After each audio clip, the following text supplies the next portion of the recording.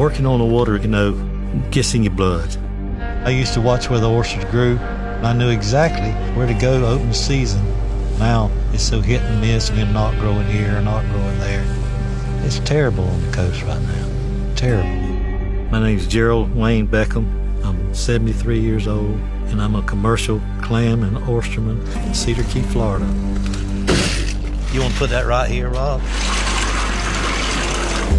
At one time, when you lived in Cedar Key, and your father, your grandfather was a commercial fisherman and oysterman, it was a proud heritage.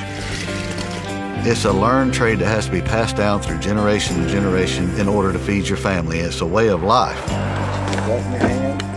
All right, catch you something. There you go. Everything's changing on a regular basis and changing quick, and you can see it without being a scientist. The tide's getting higher, the growth is less. People say, well, they didn't grow at all here. I wonder why. I said, well, they got to have the food, the tide, the fresh water. My hope for the future is that we have some leadership that listens to the people and the families that has done this for generations. We all got to stand up and admit that the climate's changing. And if we don't do something about it, it's going to change us right out of a living.